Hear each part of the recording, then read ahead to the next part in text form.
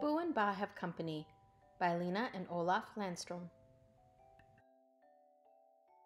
It's autumn. The tree has dropped its leaves.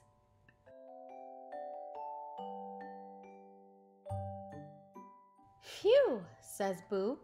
What a lot of leaves. And they all need to be put in the compost pile, says Baa.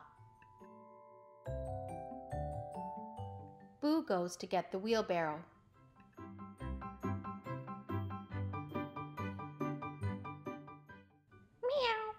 It's squeaking, says Boo. We need to grease the wheel, says Baa.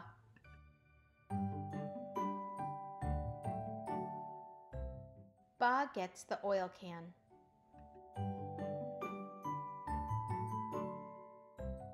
She greases the axle.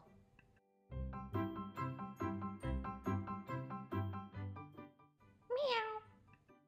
Now it meows when I push it, says Boo.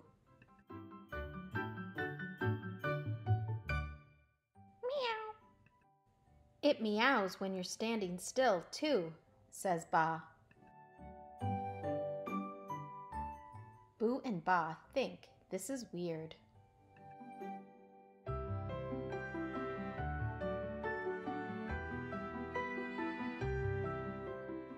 A cat.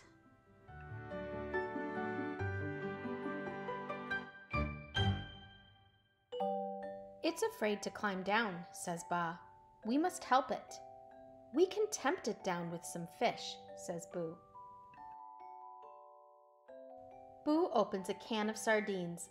Let's hope it's hungry, says Baa.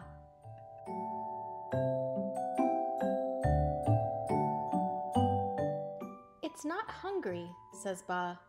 What do we do now? Boo wonders.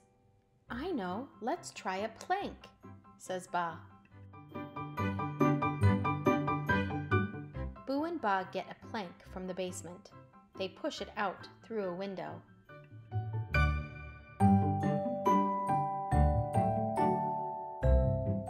It doesn't dare go onto the plank, says Baa.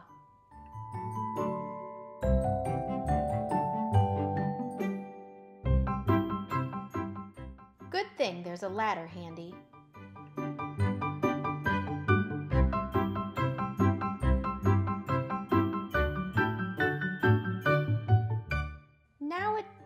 Go onto the plank, shouts Baa.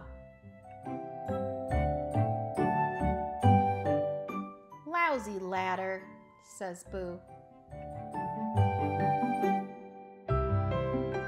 Boo can't get down. I'm hungry, he says. I'll be right back, says Baa. To be on the safe side, Baa makes lots of sandwiches. A cheese sandwich, a cucumber sandwich, a tomato sandwich, an egg sandwich, and a sardine sandwich. Baa ties a rope to the basket. Watch out! The basket is heavy. Yummy, says Boo.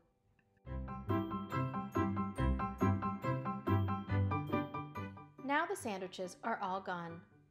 Tie the rope under your arms and I'll lower you down, says Baa.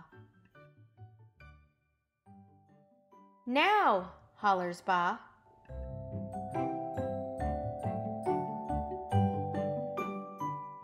Help! Baa is lighter than Boo. She hasn't eaten any sandwiches.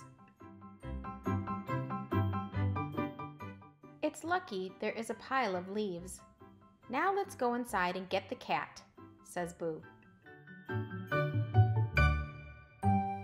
But when Boo and Baa get inside, the cat is back in the tree again. Maybe it wants to be up in the tree, says Baa. Let's leave the window open, just in case, says Boo. It's nice with all the fresh air. Boo and Baa are sleeping like logs. The end.